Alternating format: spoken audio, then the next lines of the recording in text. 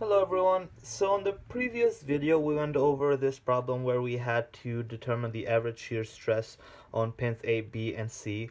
And with uh, without any uh, special skills, uh, basically just calculating the reaction forces using statics, we were able to come up with the uh, shear at A, B, and C.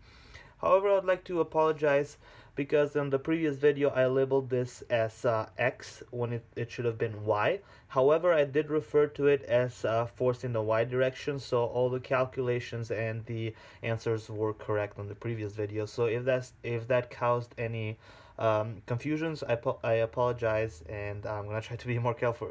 careful. So with that being said, let's go ahead and uh, look at the next problem here. So I'm gonna get rid of that.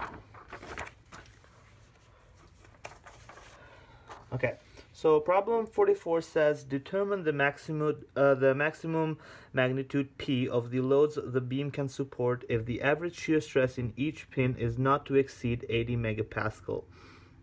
All pins are in double shear and each has a diameter of uh, 18 millimeters. So a very similar setup to what we had on the previous question except for this time we're given shear and we are asked to find force uh, P so let's go ahead and um,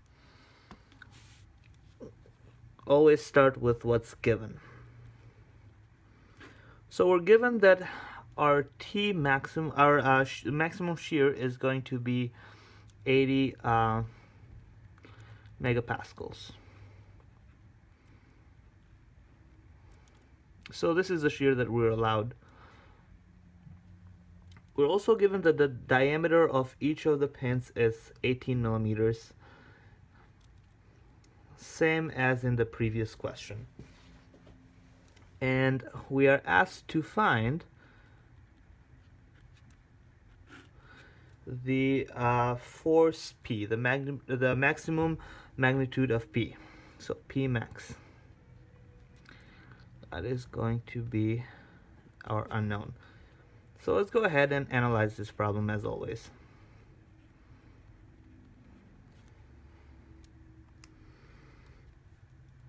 Okay.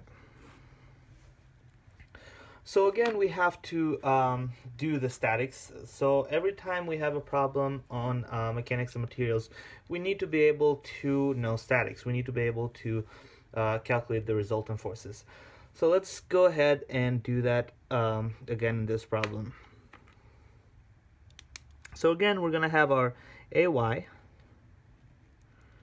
and our AX. And then we have our force, FCB. Okay, so let's go ahead and start by calculating, let's say, forces in the y direction and then see what we get from there. So in the y direction, we're going to have the uh, AY, which is going to go upwards, so positive. We also have our FCB in the uh, y direction, so FCB in the y direction equal to 3 fifths FCB. And then FCB in the x direction is 4 fifths, uh, so 4 fifths FCB. So again, I apologize if this caused any confusions on the previous um, on the previous video. So our F in the y direction is going to be 3 fifths FCB. And then now we have our downward forces, which are our um, P forces, and we have uh, four different one of them, and we can just go ahead and add them up. So we have 1, 4, 10, 11 p and that has to equal to 0. So remember we're after the reaction forces so let's solve for AY. AY is going to be um, that is going to be negative not positive because our P forces are going downwards. So that is going to be negative. Therefore we have 11P minus 3 fifths FCB. Okay. So now let's go ahead and um, do the uh, sum of the forces in the x direction.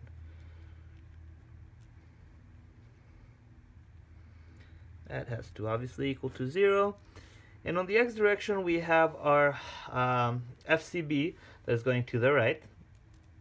So it's going to be the uh, x direction one, and it's 4 fifths FCB.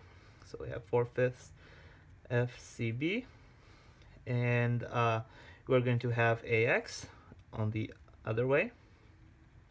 And those are the only two forces, so they have to add up to 0, which means that uh, AX is equal to 4 fifths FCB. Okay. So let's go ahead. We have the other trick, which is uh, summing moments around point A. And that has to obviously equal to 0. So AY and AX, since they're going directly on the uh, pin A, they're not going to cause any uh, moment. Also, the um, FCX, F, uh, FCBX in the X direction is not going to cause any moment as well because it's parallel to the pin A, which means that the, uh, the perpendicular distance to pin A is going to be zero, so it's not going to cause any moments. Therefore, we have uh, the forces P, which are going to go downwards, uh, that are going to cause a moment. So let's go ahead and calculate those. We have P times 0 0.5. Uh, we have P, so it's 6P times 2. We have 3P times 4. And we also have P times 5.5.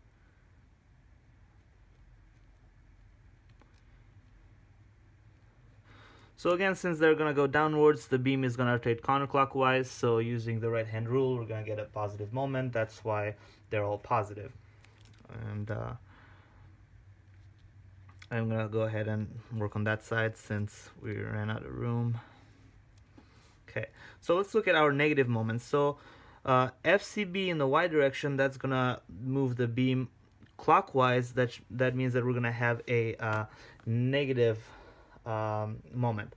So our FCB in the y direction is 3 fifths uh, FCB. So minus 3 fifths FCB. And then the distance is going to be 6, so times 6. Okay. So those are all the forces that are gonna give us a moment. So let's go ahead and uh, find what FCB is going to be in terms of uh, P. So if we bring the, uh, this on the right side, we're gonna get uh, 18 fifths times FCB equals to, um, let's go ahead and factor P out. We're gonna have 0 0.5 plus 6 times 2 is 12 plus 12 plus 5.5.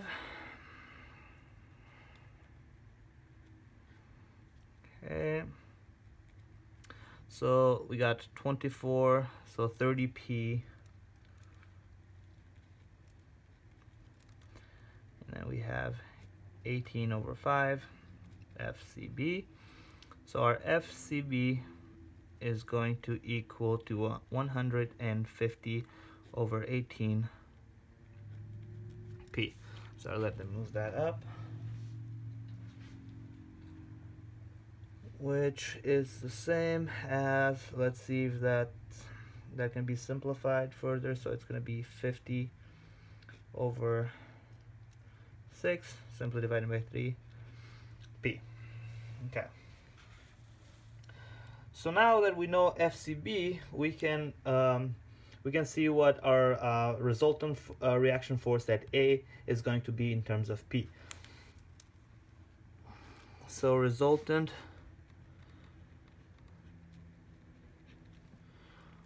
reaction at A. Our AY is 11P minus 3 fifths times FCB, but we just found FCB to be 50, uh, 50 over 6 times P, so can go ahead and do that over 6 times P. So our AY is going to be 11P minus 150 divided by 30. So 150 divided by 30, that should be just 5. P, so my AY is going to be 6 P. Okay. so let's go ahead and look at the AX now. So AX is going to be 4 fifths times FCB. Remember FCB is 50 over 6 times P, which is 200 over 30, so it'd be 20 over 3 P. Okay. So our resultant at A is going to be square root of AX squared plus AY squared. That means that the resultant at A is going to be six P all squared plus 20 over 3 all squared. Actually the other way, way the the other way around but it doesn't really matter since they're just adding up so we have square root of, so 6 squared is 36 times p squared plus 20 squared, that's 400 over 9 times p squared. So we can go ahead and factor our p squared out.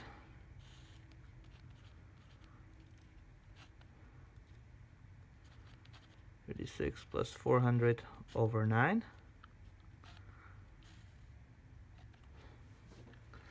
Okay. And that is going to be 8.97 uh, p if we take the square root of that because uh, let's see 36 plus 400 divided by 9 that is uh, 80.4 so if we take the square root of that we get 8.97 so we're good. And then p squared is of course just p. So so far so good with our resultant at a. So now that we have the resultant at a we can go ahead and calculate um, what p is going to be using the uh, shear formula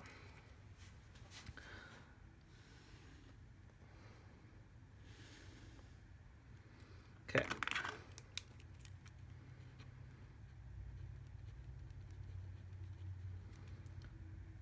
Shear at uh, pin A.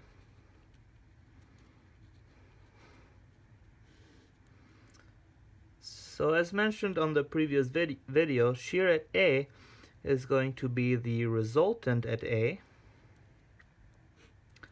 over the um, area uh, the cross-sectional area, but we're going to multiply that by 2 because it's a double shear. So think about the, uh, having uh, the pin right here. So you're going to have a cross-sectional area on um, the top side and one on the bottom side because the force is going to be split uh, equally. So we're going to have 2 times area.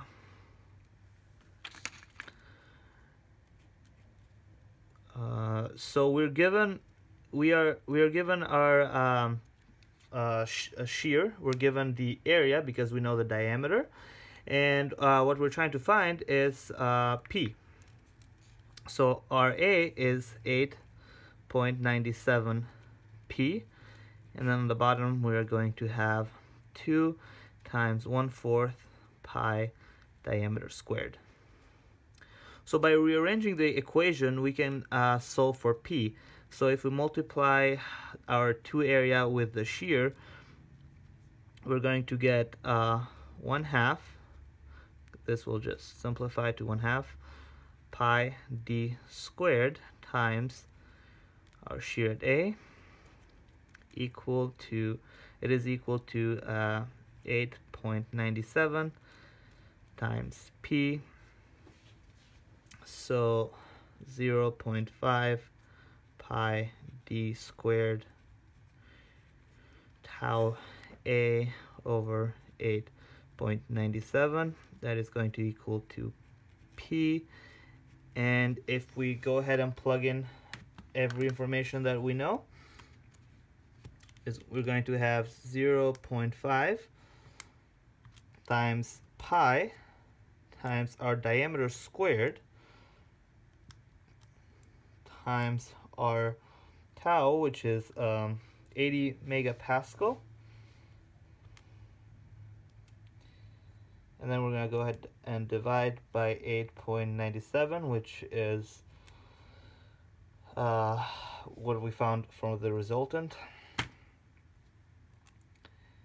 and we get 4,539 4,539 Newton.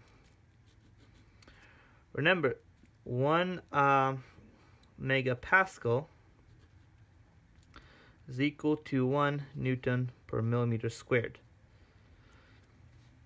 So that is why we end up with newtons. So our P is going to be 4.54 kilonewtons.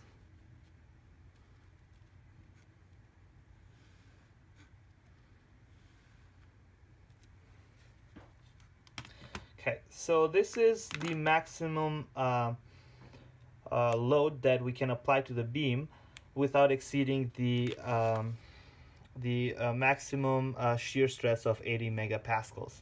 So I hope this video helped and as always if you have any questions that I might help clarify please feel free to uh, to uh, let me know in the comment section down below and have a good day. Thank you.